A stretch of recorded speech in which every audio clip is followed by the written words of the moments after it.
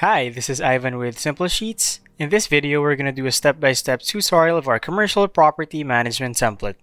This is one of over 100 pre-built and smart templates that we offer. Click the link in the description and try 5 free templates before you buy. Before we get started, help us grow our channel by giving us a thumbs up if you like this video, and by subscribing to Simple Sheets. The introduction sheet contains a short description about this template. Over here, we have a customization difficulty, an explanation of the sheets that come with this template, and some instructions on how you can utilize this template. And at the bottom, we have a short guide on using our templates with compatible online services.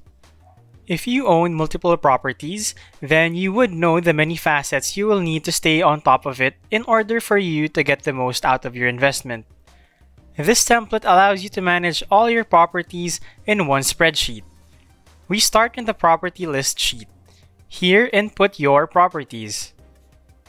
Input the building status, building name, units, address, city, state, zip code, year built, floor, suite, company that's leasing it, its business sector, the company status, rentable square feet, lease start, lease expiration, primary contact, phone number, and email. Once you've got all those down, head over to the buildings sheet. Here you can view the different buildings that you manage. You can do that by using the slicers on the left side.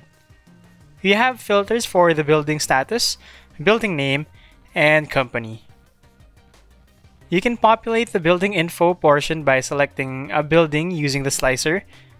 It gives you the building name, address, floors, year built, city, state, and zip code. In the log datasheet, you can keep note of important occurrences, events, or incidents regarding your tenants or possible future tenants so you can keep them in mind in the future. That's all for this template. If you want to automate your Excel processes and enhance your level of productivity, Simple Sheets, Advanced Templates, and University is the best tool out there. Don't forget to give us a thumbs up if you like this video and subscribe to Simple Sheets for more Excel content. I'll see you guys on the next one.